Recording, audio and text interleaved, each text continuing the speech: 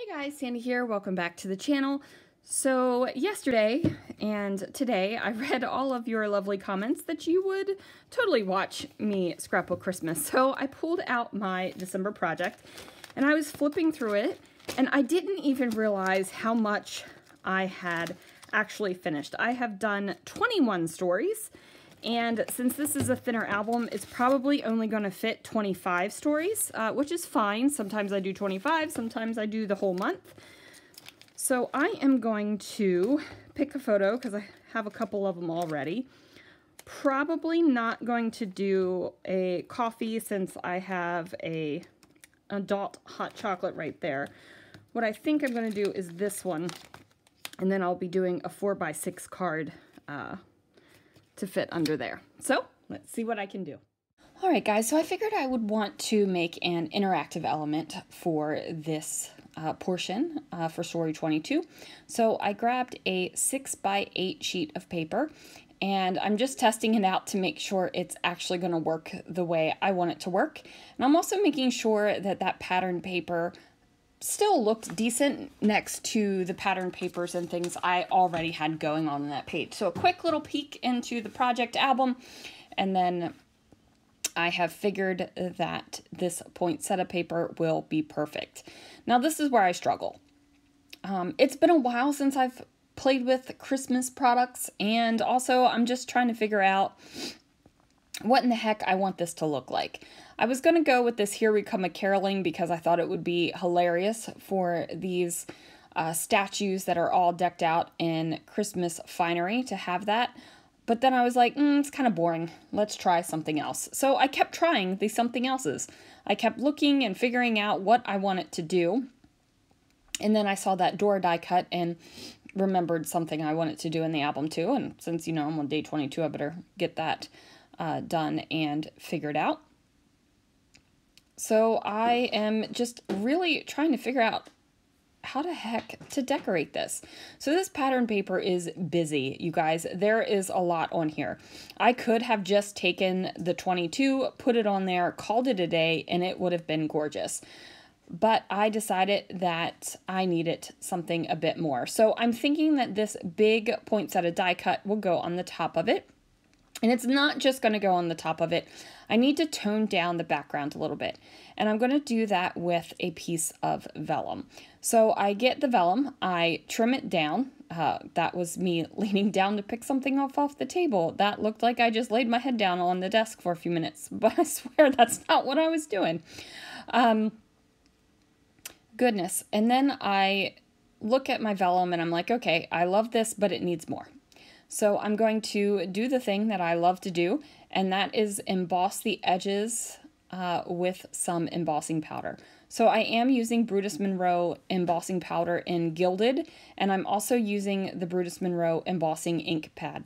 Now you guys know I love me some Brutus Monroe embossing powders. They are the absolute best embossing powders I have ever uh, been able to use and I've replaced them all. So I only have Brutus Monroe embossing powders now. I have fully converted over there uh, because it is useless to keep embossing powders that I don't use because they're not as good quality.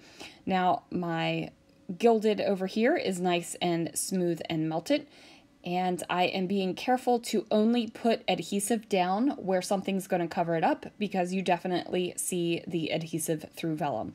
Now, if you didn't want to have to do this and put the adhesive only where your things are uh, on top for the vellum, what you could have done is put this on a full adhesive sheet, uh, run it through a big old Xyron sticker maker, anything like that, and then you won't see the adhesive either because it is one full piece of adhesive. Now I'm using this chipboard phrases, basically trash, uh, to put the embossing uh, ink down over top of this die cut. And I'm doing that because I didn't need to save it and it's just going to go into the bin anyway and I don't have to worry about getting extra embossing ink on anything. So now I have this icicle embossing powder here and that is a clear embossing powder and I'm just going to use my heat tool until it gets all smooth and melty. I let go of the die cut and then uh, go ahead and heat up that little area where my tweezers were holding on. I'm going to pop this up on some fun foam just to give it a little bit of height, a little bit more interest uh, here on the front of this card. I am going to flip around the card a whole bunch and add on the adhesive in the spots uh, that are covered by elements on the front. So I go ahead and get those down there and there is the front of the card and I love it. I am ridiculously happy with it. Now if I would have chosen just to do this card with no story, no photo, no nothing, I think it would have been totally okay to leave it like that. Um, if you guys haven't seen or heard my December project philosophy, it is stories don't have to be told on the same day. You don't even have to tell a story.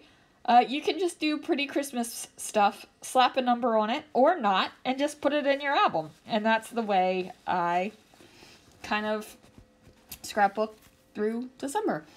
Um, I have this chipboard piece that says photo opportunity. Newsflash, it does not make it onto the layout. It just feels forced. So I eventually take that off. Uh, but I do use this details card and place a label over top of the photo. And then I like this little chipboard bird uh, down here. No reason why, I just thought he was cute. I'm going to pop down some snowflakes and then I decide since I'm popping down snowflakes the bird needs a little bit more decoration as well. So I have this greenery bit. Now there is a bit of gold uh, going all over this layout and that is perfectly fine with me since I have the gold on the front of the flip up. I was going to spell out Vegas photo opportunity here, but I was like, mm, no. So I ultimately decided to use the little Christmas word up here at the top right, and then I'm going to pull off that photo opportunity uh, chipboard here in a minute. But, you know, I'm trying to leave it on there for as long as possible. Eventually I realize it doesn't work. So I'm going to throw down a couple of these uh, chipboard phrases. Um, they're just holiday words that I figured would be great to decorate right here. And then I am looking at this and I'm thinking, yeah, this is good. Now I am actually going to journal. So I'm going to talk about how um, I walked through the hotels and it was just so cool to see all of the hotels in their Christmas finery and how they decorate it for the holidays. I especially loved the statues here in Caesar's Palace with all the greenery draped over them. I just thought it was kind of a hoot and a half, and I really loved it. So I am using a Muji pen to write this journaling down. I finished the journaling, and then I'm going to pop it into uh, my album just to make sure that it works and I flip it up and sure enough it works. There it is you guys. Thank you so much for watching. Thanks for uh, watching Christmas in mid-April. Crazy, huh? Thanks so much for watching and I will see you guys again real soon for another video.